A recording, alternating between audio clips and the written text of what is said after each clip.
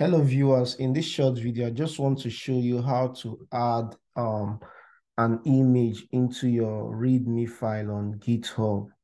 So let's go to our Visual Studio.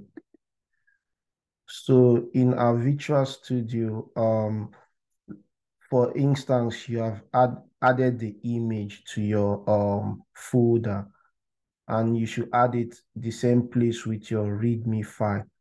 So all you need to do is to to um to press an exclamation mark and um, a square bracket, and you can call the um the image whatever name you want to call it. But for me, I'm building a project on Databricks, so I'm going to call the project name Databricks Databricks um project with snowflake.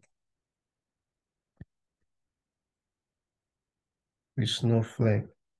So um then you use um then you um you add a parent parenthesis to it. So this parenthesis is gonna be the the um the directory where your image is coming from. So this is my image image directory. So all I need to do is just to um, type um, the name of my image since they are on the same folder, Databricks, databricks.png.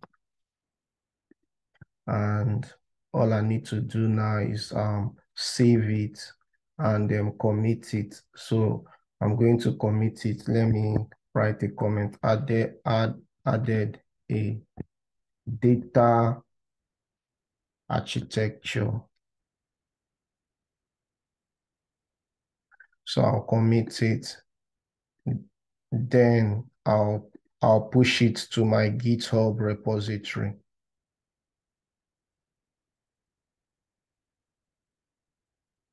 So this is my GitHub repository. So let me refresh it. So this is the image of the, this is the image of the data architecture um, project that I'm working on. So this is the image, a skeptical view of how the project is going to go. So thank you guys for watching my video and have a nice day.